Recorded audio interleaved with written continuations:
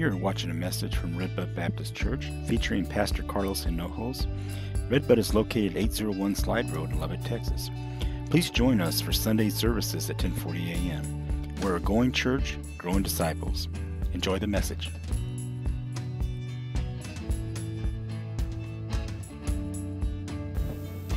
is uh, darkness is the place where there's the absence of light. Well, there is no light, there's darkness. As I thought about that statement, I thought about our country and where it is today. So I, I spent a lot of time looking back to um, 9 11. As you all know, we, we just spent a week discussing that and uh, posting pictures on social media and sharing statements and comments about um, 9 11 and what this nation went through during that time. And I thought if I go back and research and look at the time frame and discover where where did we get from uh, the events of uh, right after 9-11 and and where we are today where we are right now 2019 september of 2019 how did we how how how long did all of that last?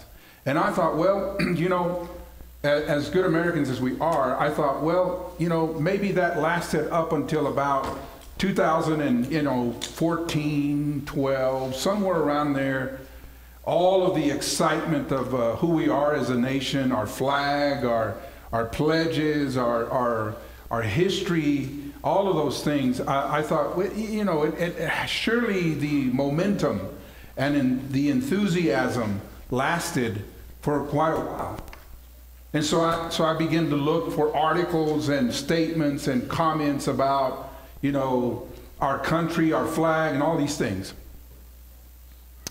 And, uh, and, I, and I, I kept going, and I kept going. I got to 2014, I got to 2015, uh, uh, 12, and 10, and I kept going back and back and back. Do you realize that in a short, almost two years, all of the hoopla and the enthusiasm of, of us as a nation went out the window.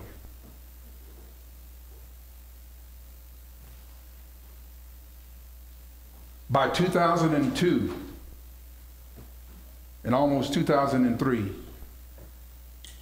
the majority of Americans had forgotten about 9 11.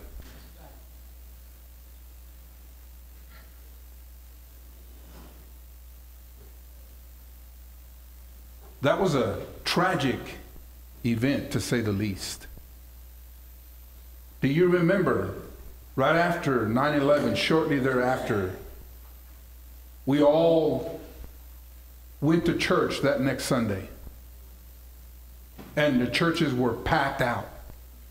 I don't know of a denomination that did not experience a surge in church attendance.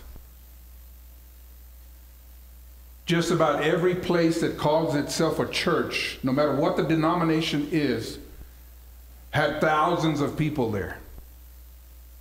Most of them afraid of what was going to happen, uncertain of the future worried about will we experience another attack? And on and on and on it went. And for about six months or so, maybe an entire year, a lot of churches experienced a full house. About a year later, churches went back to being half full, most of them empty. There probably have been more churches closed since 9 11 than there has ever been in quite a while. The leaders of the nation, the preachers of the nation, the people who were talking about the impact of this event said maybe this served as the wake up call to us as a nation. Maybe this is the one thing that finally got this nation's attention and to help it realize that while we may be the most powerful nation in the world, we certainly are by far the best nation morally and spiritually. In fact, I want to tell you, there are other nations in the world, not necessarily because of 9 11, but there are other nations of the world who have made more spiritual progress than our own nation. There are nations right now that are experiencing a, a, a boom of revival. People going to church, not because there's a 9 11, not because there's terrorists, not because of anything except that those nations said, if that can happen to that nation, what do you think can happen to ours? If they can sneak into that nation and fly four airplanes, two of them into two towers and another one into the Pentagon, the heart and soul of where we our military derives from, the Pentagon of all places. And had it not been for a few brave men and women on one flight, chances are maybe even the White House would have been taken out.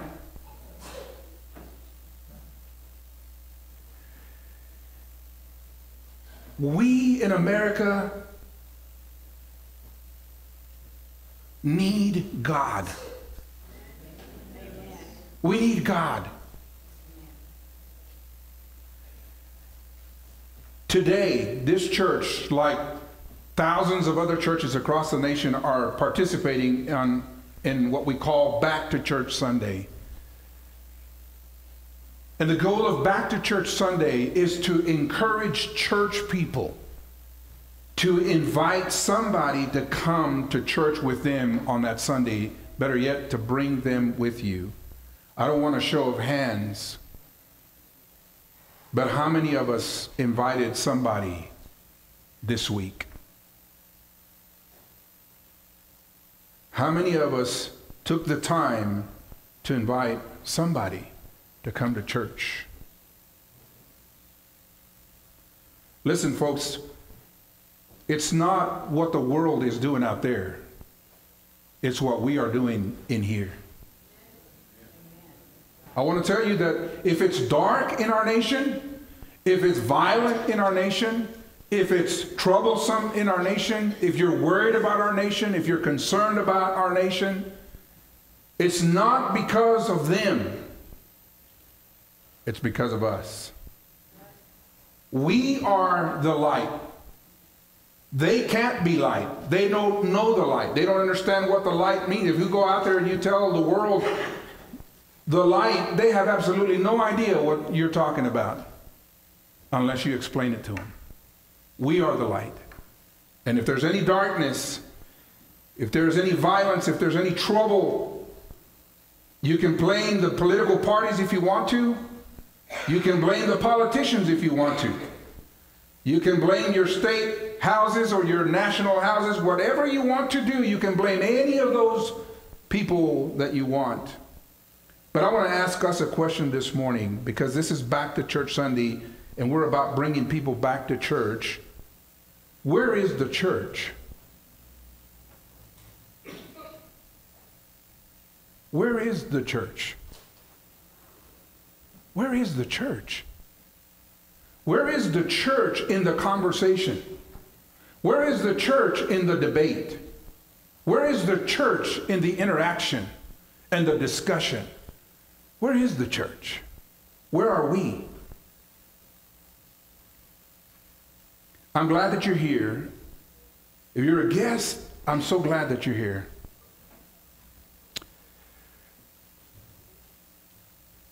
For a split second, we were a nation once again. The parts became one. Every group imaginable, no matter what denomination you were from, no matter what political party you affiliate with and support, no matter any of those things, we came for a short time and we were Americans. We were Americans. We were Americans. We celebrated. Do you remember July the 4th, right after 9 11? Do you remember that one?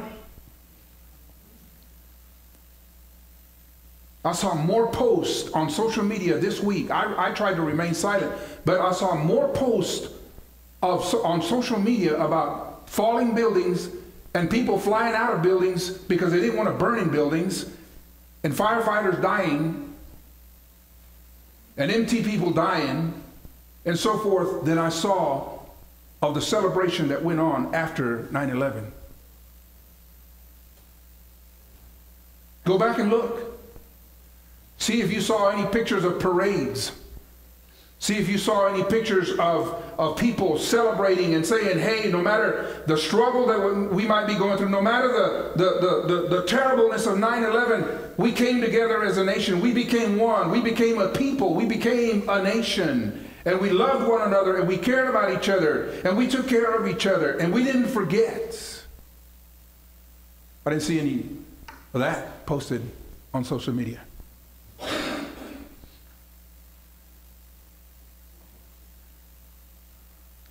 I try to remember where I was and what I did.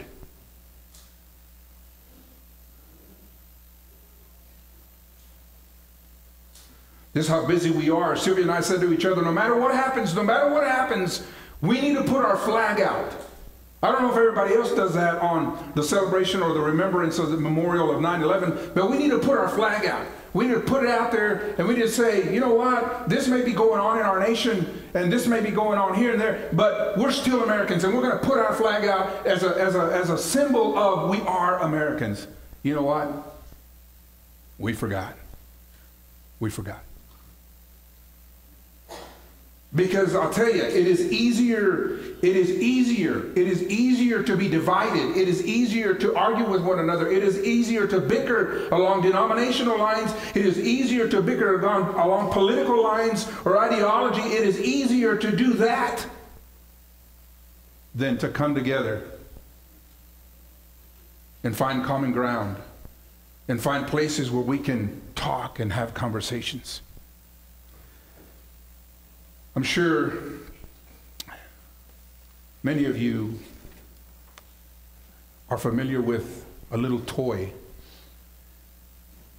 Not much of a toy in and of itself, but the toy that I'm referring to, or the pieces that I'm referring to, is the the Legos.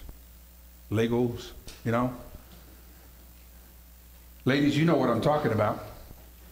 Because after your children play and you think you've got it cleaned up, and you go to vacuum your living room or your playrooms and you hear all the clanking and clattering in your vacuum cleaner from all of the Legos that are being sucked up into the bag. Or even worse, when you suddenly have to get up at night to take care of a crying child, and as you're walking, running barefooted to their room, you step on one of those Legos. Terrible pieces of plastic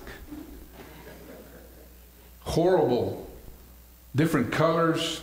You look at them and by themselves, they're nothing. They're, they're, you know, piece of plastic with raised ridges and then you stack them on. Ah, but you take enough Legos of all shapes and sizes and put them together, you can make some amazing things, right? Can I tell you something? Church is like Legos. We're made up of different people from different ethnicities, different backgrounds, different situations. But we are the body of Christ. We're the body of Christ. And we need to remember that. And so, what we're going to do over the next several weeks is we're going to talk about together. Not divided, not separated, not any of that, together. But how do you, how do you come together? How do you, how do, because there's so many opinions, there's so many differences, there's so many situations. How do we come together as a body? How do we do it here at church? And if you're looking for a church and you're looking for a place to be, you say, Pastor, I just haven't found the right church. Let me, let me lovingly, caringly remind you. And, and Redbud is probably tired of hearing me say this, but it's true. If you're here and you're visiting us, thank you for being here. I hope you give Redbud consideration. But can I tell you something? There's a lot of good churches in Lubbock. There's a lot of good churches in Lubbock. This is one of them.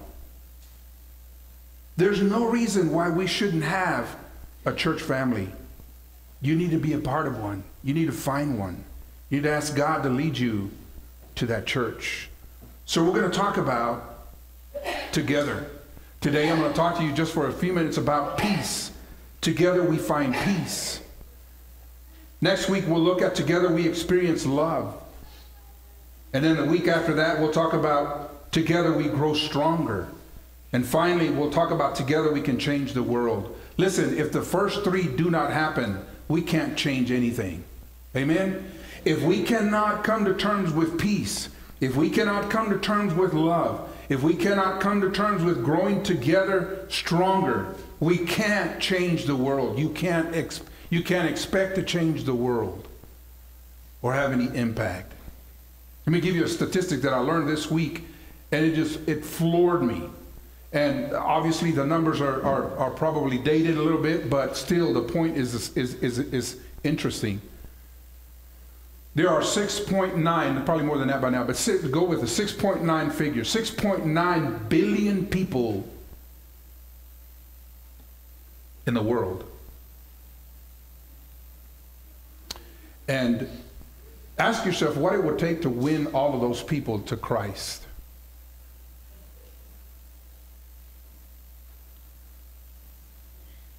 I think the statistic was like 3,000.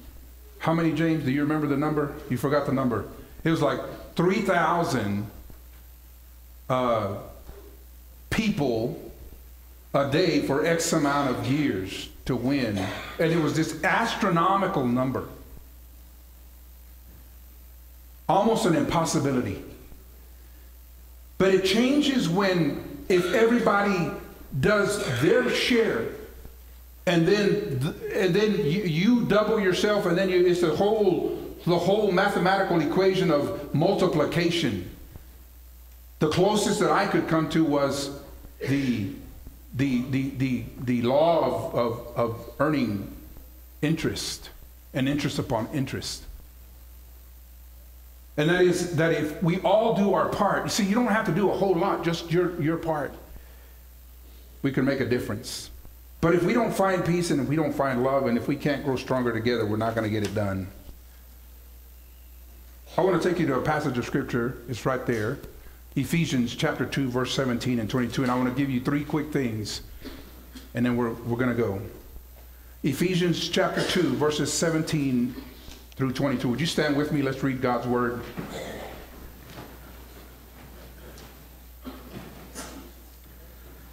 Paul wrote in this particular letter, he said, And he came and preached peace to you who were afar off and to those who were near. For through him we both have access by one Spirit to the Father. Now therefore you are no longer strangers and foreigners, but fellow citizens with the saints and members of the house of God. Having been built on the foundation of the apostles and prophets, Jesus Christ himself being the chief cornerstone, in whom the whole building, being joined together, grows into a holy temple in the Lord, in whom you also are being built together for a habitation of God in the Spirit. Would you pray with me? Father, thank you for your word and thank you for the blessing of it. I pray now that your Holy Spirit would come and equip us and teach us as, as this passage that we have read. Lord, may it speak to our hearts, I pray in Jesus' name. Amen. Thank you. Over the next several weeks, we'll go over this letter of, the, of, of, of, the, of Ephesians. But the letter of Ephesians is one of four that Paul wrote from prison. This is one of those letters that, that has a different twist on it. Uh, the first three chapters, he spends teaching doctrine. He talks about grace and salvation and, and all of those important doctrines, and he, and there's this powerful prayer at the beginning of, his, of this letter. And then the last three chapters are all about application. How, how, do we, how do we do what he says in the first three chapters? How, how do we take the teachings of chapter 1, 2, and 3 and, and do something with them? How do we apply them? How do we live those things out? So the last three chapters, he talks about how to do that. And, and so one of the one of the most famous passages of scripture that, that we have is found actually right there in chapter 2 the chapter that i just read. But there are verses 8 and 9 many of you know them by heart. They say this for by grace you have been saved through faith and not that of yourselves. It is the gift of god not of works lest anyone should boast. And so when it comes to when it comes to salvation when it comes to eternal life when it comes to knowing god jesus whatever term you want to use Paul basically says this nothing that you can do good will get you to heaven. Period. Nothing good that you can do will get you to heaven. You can't earn your way there. You can't, you can't buy your way there. You can't spend a lot of money doing it. You can't be, you, you can't go to heaven being the best Baptist that there ever was or any other kind of person. You, you, you, you're not going to get there. The only way to get to heaven is if you acknowledge and realize that you and I are sinners, that we're lost, we're lost in our sin, and we can't help ourselves and we can't save ourselves. And that the only way to heaven is to trust the Lord Jesus Christ and the work that He did on the cross for you.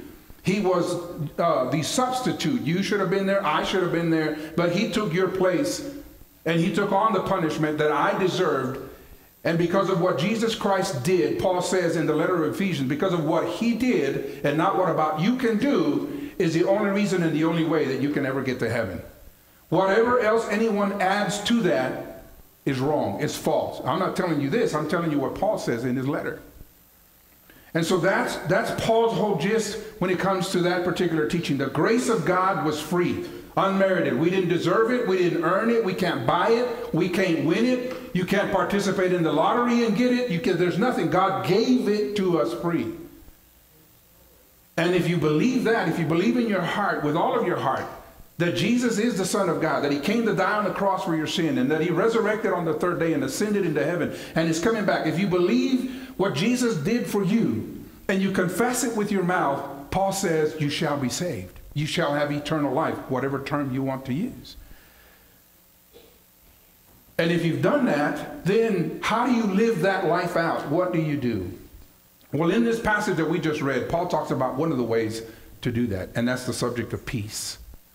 The world right now is desperate for peace. Politicians are working for peace. World leaders are, are looking for peace. Maybe you're here this morning and you've got turmoil in your life. Maybe, maybe your life is a, a, a, a, mess right now. Maybe your life just got sent into a whirlwind and, and you don't have any calm. You don't have any peace. You don't have any stability. Maybe that's you. Maybe, maybe that's some of us in here this morning. And you're looking for peace. You're looking for tranquility and calm. I want to tell you in just a minute that the only way you're going to do that is, is to turn to the Lord Jesus Christ. There's no other place. So how do you how do we how do we become how do how do we find peace? What is it that you and how, how what did Jesus do to bring peace? Look at verse right quick, look at verse 17 and 18. Listen to what it says. And he came and preached peace to you who were afar off and to those who were near. For through him we both have access by one Spirit to the Father. He, he mentions two groups in that verse. He says those who were afar off and those who were near. And the implication is that there was a group of people who were closer to God than the other group of people. They were afar off. The first group he's referring to is the, the Jewish people, the people, the nation of Israel, the, the people that God established, Abraham, those people. They were closer in the sense that, that he chose them, and, and, and all of the Bible, when we read it, it's, it's about how God worked with them and God getting them to where he needed to get them. And they failed him miserably many times. He's, those people were close in that sense. They had the Ten Commandments, they had the law, they had all of that knowledge, but, but yet their heart was far away. And then there's the rest of us, those who are not Jewish, those who are not God's chosen people the Bible calls us, we, we are called, you may not like the word, but we're called Gentiles. Those of us who are not Jewish, those of us who are not there, Gentiles, we're, we're the other group. And he says, there was a time prior to the Lord Jesus Christ, the near ones and the far ones, neither of them had any peace until Jesus Christ came. When Jesus Christ came, he brought peace. He brought peace individually, personally, and he brought peace among the group of people. Listen, the world, the leaders of the world want peace. But they, they want to buy it, they want to earn it, they want to debate it, they want to discuss it, they want to they want to fight out, and they want to even maybe even go to war before one of them finally decides that it's time to peace. They want peace. Everybody wants peace, but I'm telling you right now, Paul says Jesus, when he came, brought peace. Peace is already available. But peace will never happen until you and I come to the person of the Lord Jesus Christ. Peace. How do you get peace? Peace comes in unity. Peace comes when we're united. First, let me talk to you about this, and I've already alluded to most of it. The only way you're going to find peace is if you first get your relationship with God right. No other peace will ever come with any other person or any other generation or group of people until your relationship with God comes first. If you can get your relationship with God straight and right, then you can deal with your fellow man. But if your relationship is not right with God, you say, Pastor, well, are you saying that, that if I have a problem with other people in other groups, you're saying that my relationship with God is not right? That's exactly what I'm telling you. You can't say, I love God with all my heart. You can't say, I serve God with all of my heart. You can't say, I, I believe in God with all of my heart, but I hate my neighbor, can't stand him, don't like him, never going to meet him. I, I, just, and I, and I definitely won't cross the street to go share the gospel of Jesus Christ with him because I can't stand him. Good luck with that when you get to the pearly gates. See how far that's going to fly. No. You got to get your relationship with God straight first. Amen.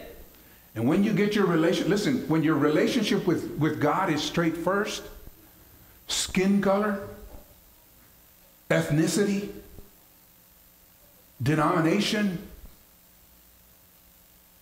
political party, all of that falls by the wayside.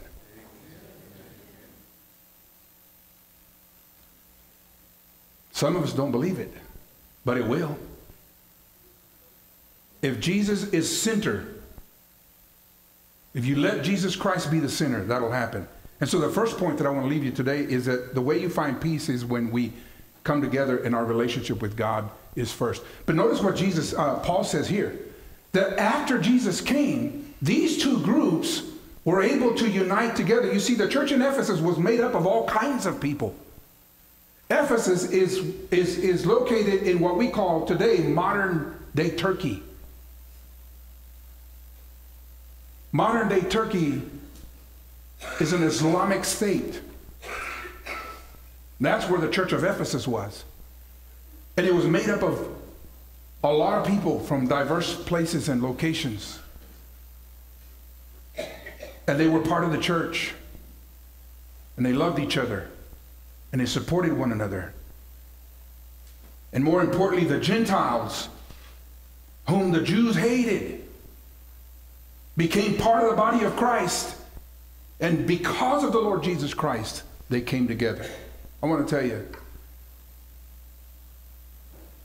no amount of discussion and debate is going to bring peace to this world until the Lord Jesus Christ is center of everything that happens on this planet. Period.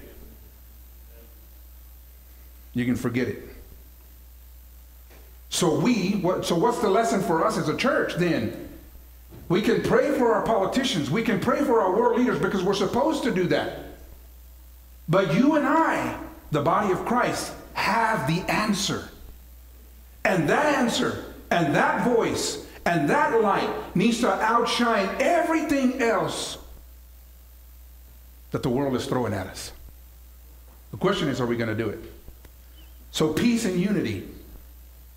We're no longer foreigners and strangers, Paul says, we're now family. The second point I want to leave you with today as we move on to this, to, to this series is peace in God's presence.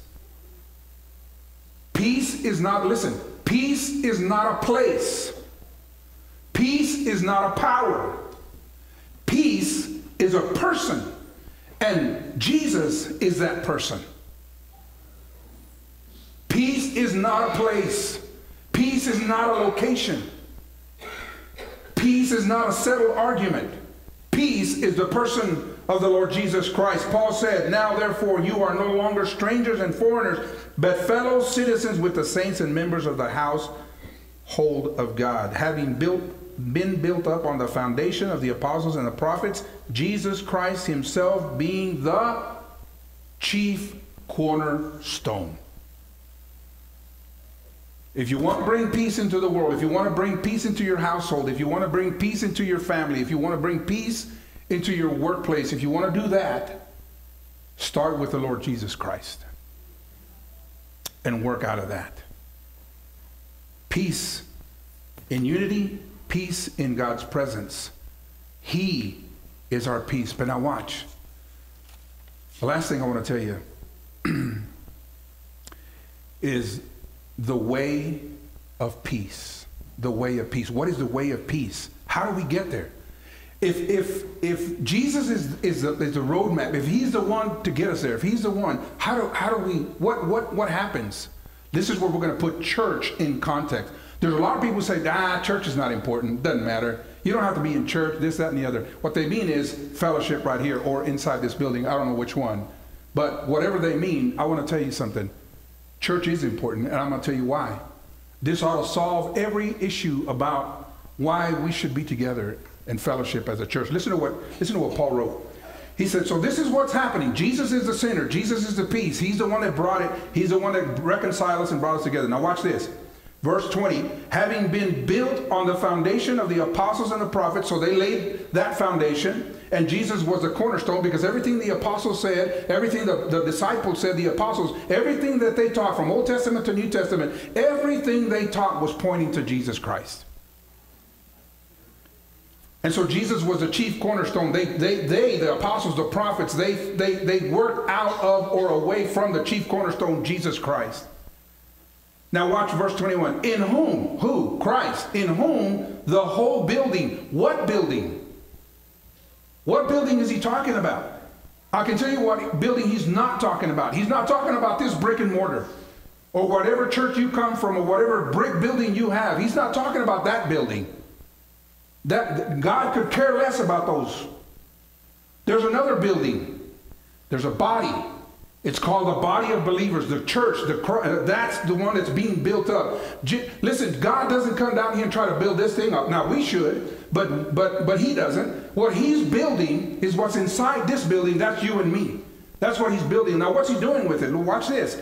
In whom the whole building being joined together. Do You see that? Together. You know what Jesus is trying to do with us right here, Redbud Baptist Church, and anybody else who wants to be a part of this church or any other church? You know what Jesus is trying to do? He is trying to weave us together like those little Legos that you take and you put them on top of each other, and then you form this beautiful ship or this beautiful boat or this beautiful building. That's what Jesus is trying to do with your ethnicity, with his ethnicity, with you as a person, with you, your skin color, whatever you are, whatever you come from. That's what Jesus is doing. He's taking you and me. You may be tall and skinny, and I may be short and fat, whatever. But Jesus is taking us all, and He is connecting us, and He's trying to build not your church, not my church, His church. That's what Jesus is trying to do. And the question that we have to answer is are we on board? Are we on board? Listen, church is not about your comfort. Church is not about your comfort. Church is about His comfort. It is not about what you get out of church, it's about the glory of God. And He gets the honor and He gets the respect. And listen, if you leave church and you didn't leave comfortable, that's okay. The question is not, did you leave comfortable? The question is, was God satisfied? When you and I sing and we worship God through song, The question is not, was the audience entertained? The question is, was God entertained? Did he uh, uh, receive approval? Was he acknowledged? Was he worshiped? It's not about us. It's not about you. It's about God and the church that he is building. And he's doing it through me and through you. Joined together, now watch this, grows into a holy temple in the Lord. You know what God is looking at when He's building us as a body? He's looking at it as a, and He uses a term that you and I are, understand. He's, he looks at us as a temple. Well, what do you do in a temple? We call them church or church building, but what do you do in a temple? You worship. We come here to worship. If you're from another church, you go there to worship. It's about Him. You go there to worship. That's what you do in a temple. Watch this. In whom you also are being built together, watch this, for a habitation of God in the Spirit. Can I tell you something? This body right here and any other body, you know what God is doing? He is Lego by Lego, piece by piece, building a place that he can inhabit God wants, listen, God wants to come to church. This church. He wants to bless this church. He wants to be in it. He wants to rejoice in his body. He wants to bless it. But if you make it about you and me, I want to tell you right now, God's not going to share that with you. God's not going to share that with you. He is holy and righteous. He's not some puppet on a string that you can pull this cord or that cord and he responds, responds to your every move whenever you feel like it. He's God. Oh, if you would just get that, if we would all just get that. He wants to inhabit his church. He wants to be a part of the church. He wants you to experience what it means like. Have you ever been in a worship service that when you walked out of that place, whatever else happened, you had to agree to say, God came down today. You ever been part of that? You ever been part of that? God came down today. I mean, God spoke, God did, God said something, God changed something. Why? Because the group collected there of, of believers were all of one mind that God is the sinner and Christ is the sinner. And when that happens, God comes down. The same holds true for you in your life. When you decide to take your little piece, your little Lego, and turn it over to Him and let Him take you and place you in the body of believers where He knows you fit. When you get to that point, when you get to that point in the body of believers, I'm telling you, God will come down. Maybe you're here this morning and you don't have a church. I invite you to consider Redbud. We're definitely not perfect, that's for sure. But we are a body. And we want to do the will of God. And we want to follow him. And we want him to be the center. So if you're looking for a church and you want to know more about Redbud, we'd like to tell you about Redbud. In just a few moments, if you want to just come down here and pray with me and James, we'd like to talk to you. Maybe you're here this morning and you've never, never trusted Jesus Christ as your Lord and Savior. You've been trusting in your good works. You've been trusting in your way of doing things. You've been believing that by you doing it the way you're doing it, you're going to get into heaven. I'm going to tell you, and I'm sitting here telling you today, you can't unless you trust Christ first. And so as our, as our instrumentalists come, I'm going to invite them to come. And we're going to pray. We're going to stand and we're going to sing. And James and I will be up here in the front. And if God spoke to you this morning, if you, if you are looking for peace, this morning, listen, I'm here to tell you Jesus will give it to you. Jesus will give it to you if you trust him. Would you bow your head and would you pray with me? Father, I come to you now. Lord, I, I pray that, that if there's anyone here this morning and they don't have peace inside their heart, it's not calm there. There's a lot of turmoil. There's a lot of confusion. There's a lot of waking up in the mornings or late at night just wondering, thinking. There's, there's trouble in the heart. And Father, they, they, they desperately want to be at peace. God, would you draw them here to this altar? Lord, if there's somebody there that can walk with them, help them do that.